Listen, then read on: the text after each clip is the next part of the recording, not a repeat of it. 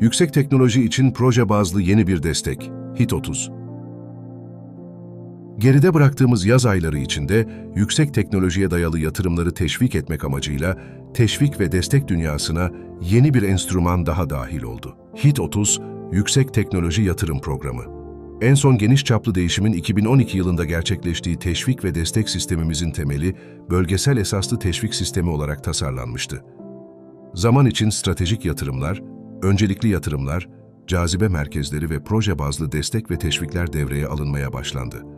Kısaca söylemek gerekirse, bölge esaslı teşvik sisteminden arzu edilen sonuçlar tam anlamıyla elde edilemeyince, proje bazlı teşvik sistemine doğru bir yönelim başladı. İşte bu kapsamda Temmuz 2024'te duyurulan HIT 30 Yüksek Teknoloji Yatırım Programı da özünde bir proje bazlı destek sistemi. Proje bazlı destek sistemi nedir?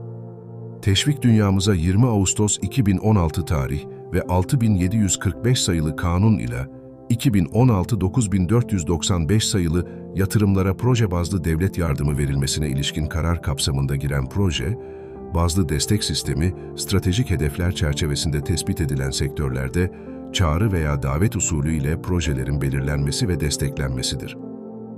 Proje bazlı teşvik sisteminin amacı nedir?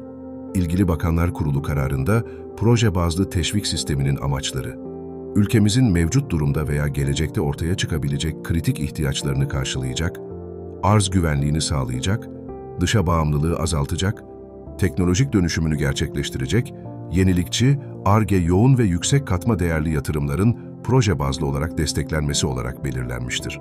HIT, High-Tech Türkiye, 30'un amacı nedir?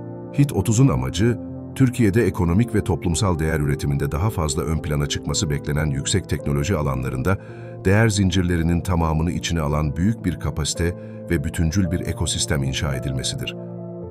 HIT 30 projelerinde hani özellikler aranıyor? HIT 30 programı kapsamında desteklenecek projelerde aşağıda yer alan niteliklerden bir kısmının veya tamamının gerçekleşmesi bekleniyor. Yeni teknolojileri odağa alan bir yatırım olması, rekabet için gerekli ekonomik ölçeğe sahip olması, teknik yetkinlik ve mali yeterliliğin olması, teknolojik kazanım boyutu içermesi, stratejik katma değer sağlaması. HIT 30'da verilecek destek türleri nelerdir? Proje bazlı devlet desteklerinin temel destek teşviklerinin tamamına yakınını içeren HIT 30 desteklerinde ilk kez yeni bir hızlandırıcı mekanizma öngörülmüş durumdadır. Yüksek düzeyli politika desteği olarak adlandırılan bu yeni destekle Türkiye Cumhuriyeti Cumhurbaşkanı Başkanlığında faaliyet yürütecek olan Sanayileşme İcra Komitesi kurulması ve komiteden HIT 30'un öncelikli alanlarında teknolojik gelişimi ve yerli üretimi destekleyecek politikalara ve uygulamalara yön verilmesi beklenmektedir. Sağlanacak diğer destekleri incelediğimizde, proje bazlı devlet desteklerinde yer alan desteklerden inşaat işlerine ilişkin KDV iadesinin ve çalışanların ücretlerinden yapılan gelir vergisi kesintisi desteğinin yer almadığını görüyoruz.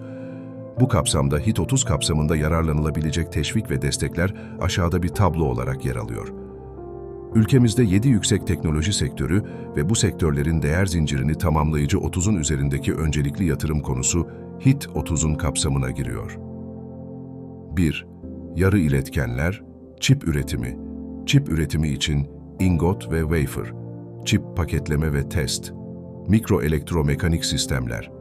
2. Mobilite, elektrikli araçlar, hidrojen yakıtlı araçlar, mobilite için batarya, elektrikli hızlı raylı sistemler, mikro mobilite hava araçları, insansız kara, hava deniz taşıtları, yeşil enerji, yeşil hidrojen üretimi, elektrolizör, rüzgar enerjisi sistemleri, güneş enerjisi hücresi, wafer ve ingot, enerji depolama için batarya, batarya bileşenleri, katot aktif malzeme, elektrolit, separatör.